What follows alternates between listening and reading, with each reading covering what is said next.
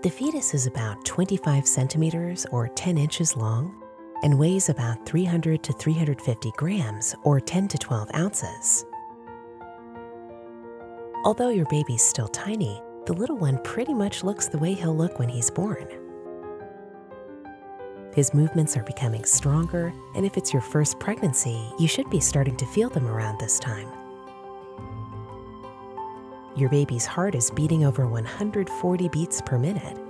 His eyes are developed, and he can hear the sounds of your body.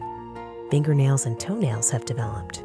Your baby swallows the amniotic fluid, which helps the development of his digestive system. The fetus is also practicing breathing, but his lungs are not yet fully developed, and he won't be able to breathe independently outside your womb yet.